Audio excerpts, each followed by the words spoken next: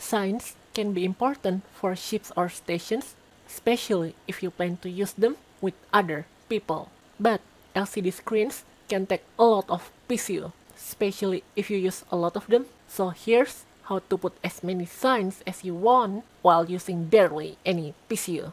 Thanks to my friend Kujo, who told me this is how they use this trick while we were talking about it. First, you need an antenna.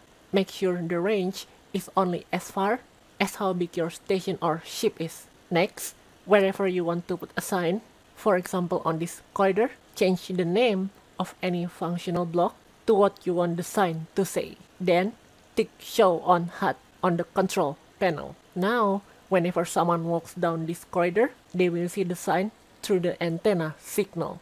This way, you can practically create as many signs as you want using only a single antenna. Just make sure you tell your friends to see signals for this to work. And that's how you can make as many signs as you want while barely using any PCU on Space Engineers.